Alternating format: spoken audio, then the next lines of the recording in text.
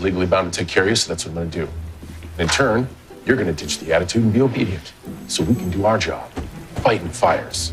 Why does it have to be fighting the fires? Can it just be containing it or resolving Oh it? Oh my gosh, for crying out loud. I can no longer hold my tongue. So, what needs to happen right now, like literally this second, is you gotta watch your tone, little sister. Or what?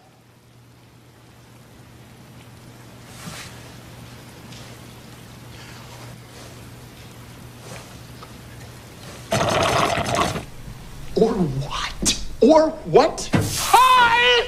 Hi! Or what? Or what? ¿Por qué? I'm. Oh, I know what.